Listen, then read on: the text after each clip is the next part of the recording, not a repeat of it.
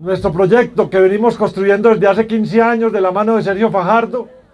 Vamos a continuar con él en los próximos cuatro años de la mano de todos ustedes.